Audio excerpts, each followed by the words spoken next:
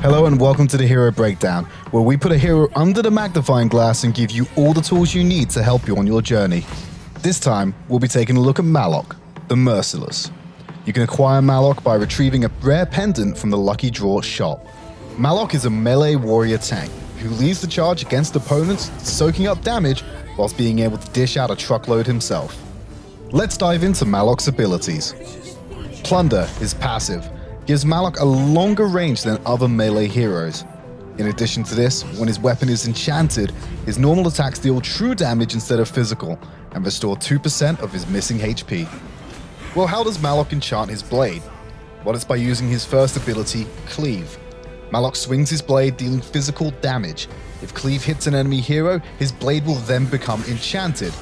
If Maloch uses this ability whilst his blade is enchanted, he will deal true damage instead of physical damage and recover missing HP for every enemy hero he hits. Soul Eater is Maloch's second ability. Maloch will deal a small amount of damage, applies a slow to his enemies, but most importantly gains a shield that increases for every enemy this ability hits. And now for the fun part. Maloch takes the skies using his ultimate ability, Shock. This allows him to reposition to a target location with some devastating effects. Upon landing, Maloch knocks up enemies in the target area and deals physical damage to all those afflicted. But that's not all. Enemies attempting to enter or leave the area after Maloch has landed will be slowed.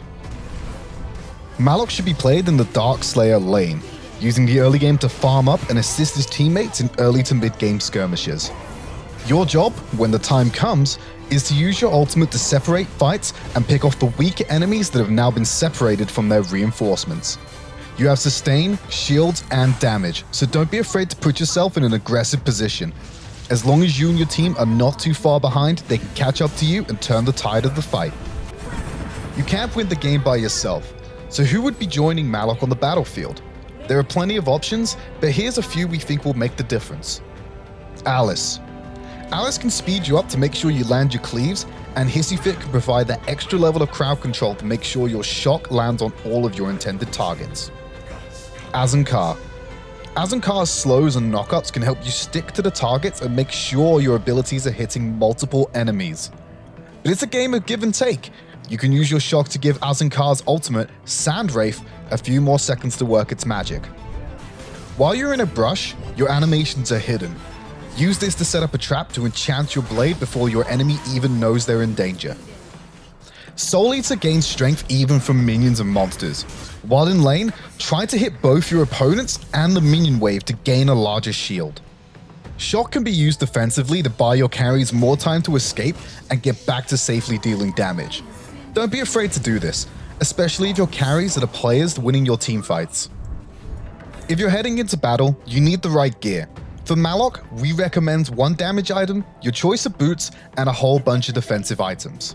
Spear of Longinus will increase your physical damage, reduce your ability cooldowns, and give you some early armor. Amulet of Longevity will increase the strength of all of your self-healing, so you can be a thorn in your enemy's collective sides for longer. You're going to be the center of attention for a lot of the team fights in the matchup, so make sure you pick up a Mail of Pain. This will reflect the enemy's normal attack damage back onto them. This makes sure they're being punished on two fronts. These are a few items we recommend. But always remember you should be flexible with your item builds. No two games are the same, so pay attention to what your opponent's strengths and weaknesses are and buy accordingly. That's about all the time we have. Stay tuned to our social media channels for more hero breakdowns, top 5 plays, and spotlights. We'll see you on the ladder.